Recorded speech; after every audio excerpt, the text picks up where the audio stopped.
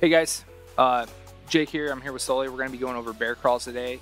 Um, how to do it right, what not to do. Um, a few of the mistakes we see people do at the gym here. So you're starting out in a push-up plank. Your hands are underneath your shoulders. Your back is level. You're driving your legs up towards uh, your elbow and you're switching back and forth, trying to keep your hips down. You don't want to raise your hips up. We see that a lot of times. People keep their hips up and it puts all that pressure on your shoulders as you walk forward. So as you go forward, you want to keep those hips down, driving your knees forward, keeping that back straight, just tightening your core, going back and forth. But yeah, essentially that's a couple of things we see when people are doing bear crawls, what they're doing wrong. But uh, if you got any questions, just let us know and we'll see you later.